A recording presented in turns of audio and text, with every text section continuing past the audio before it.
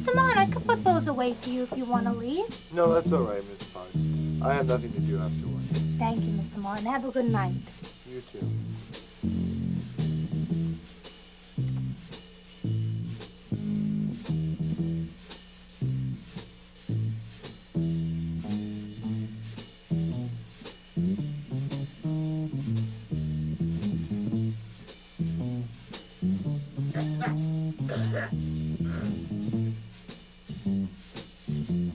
Cigarette, mister?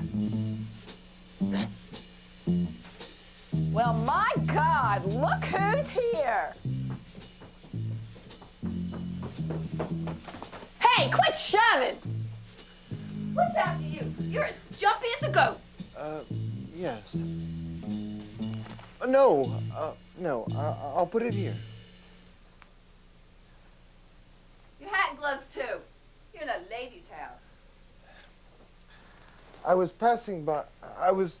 uh, Is there anyone here? We're all alone. You're as white as a sheet, you funny man. What's come over you? I'll fix you a toddy. Scotch and soda be all right? But say, you don't drink, do you? Scotch and soda will be fine.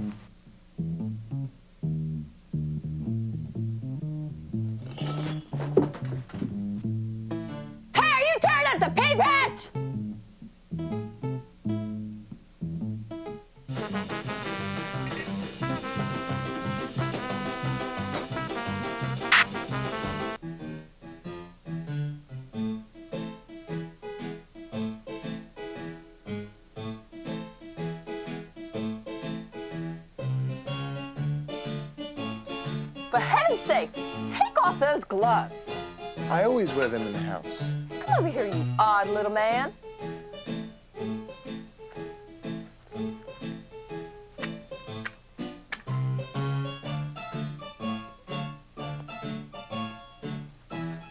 Well, this is perfectly marvelous.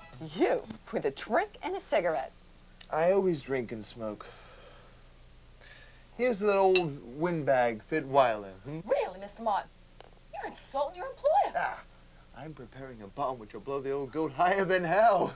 Are, are, are you taking dope or something? Heroin. I'll be cooked to the gills when I bump the old buzzard off. Really, Mr. Martin? That'll be all of that.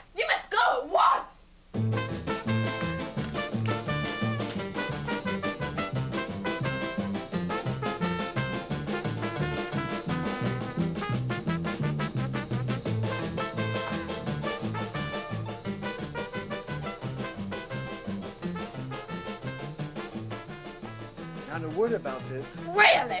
I'm in the captain's seat now. I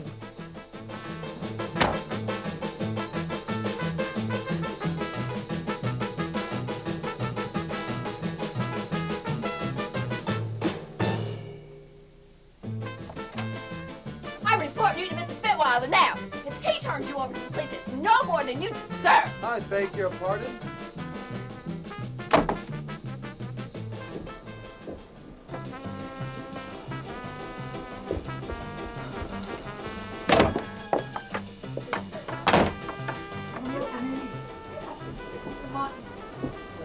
First of all, don't enter my office without knocking. What are you talking about? You crazy? Who, Martin? I don't believe word. He's been, with this for 20 years. The matter with you. There's nothing the matter with Mr. Martin. Well, you don't have to you. use the paper with me. You go back to your office and don't ever come to my office without entering without knocking. You hear me? Powell, I and tell him to come to my office immediately. Right away, sir.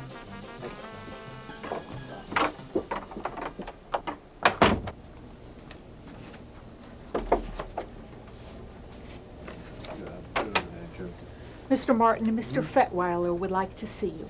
Yeah, of course. Martin, you've been with us now more than 20 years. Uh, 22, sir. And in all that time, your work and your manner have been exemplary. I trust so, sir.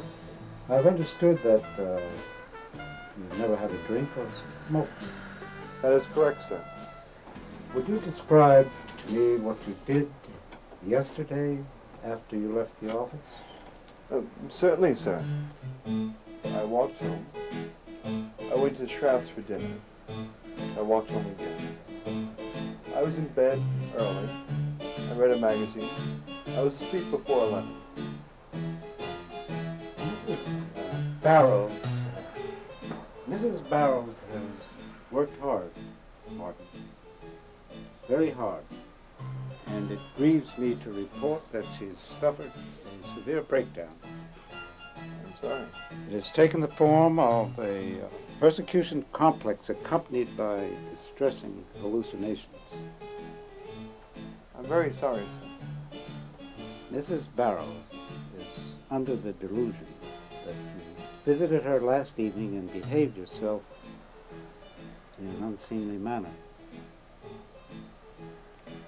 It is the nature of these psychological diseases to fix upon the least likely and most innocent party as the object of persecution. These matters are not for the lay mind to grasp, Martin. I've been on the phone with my psychiatrist, Dr. Fitch. While he would no, not make any commitments to me, he made enough generalizations to substantiate my suspicions. I suggested to Mrs. Barrows after she completed her story that she visit Dr. Fitch. She flew into a rage and demanded I call you on the carpet. You may not know this, Martin, but Mrs. Barrows had planned a reorganization of your department. No, I did not know that, sir. Yes, I think this is what brought you to her mind, but here again, this is a phenomenon for Dr. Fitch and not for us. I'm afraid Mrs. Barrows' usefulness here is at an end. I am dreadfully sorry, sir. Is this one right denying it? You can't get away with it. You smoked and drank in my apartment, you know it. You call Mr. Fitwell no windbag, you're gonna blow him up and you'll come to the gills on your heroin. You weren't such a drab, ordinary little man. I think you planned sticking out your tongue, saying you were sitting in seat because you believe you thought nobly when I said it. God, Can't you see he tricked us, you? Captain! Can't you see Hey, it, little Mrs. game? Barrows! Oh, Ow, get to your little weasel! Oh, wait a minute. You made me see the camera, Please, didn't you? thank you.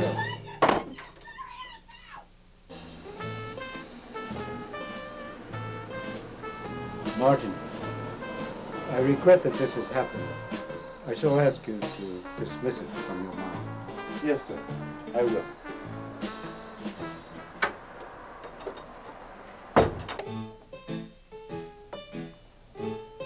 Miss Paird, can you get me Mrs. Barrow's employee file, please? Yes, sir.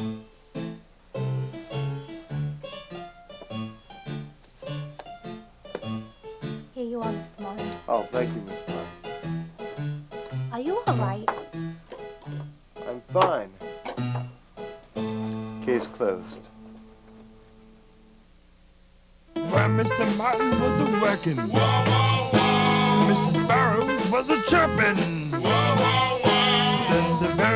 the cat, and he sat in the catbird seat.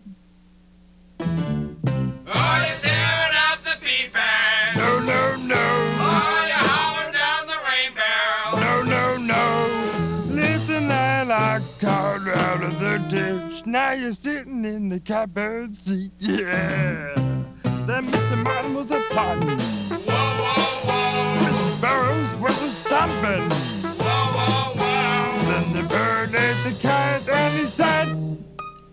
In the catbird seat. Yeah.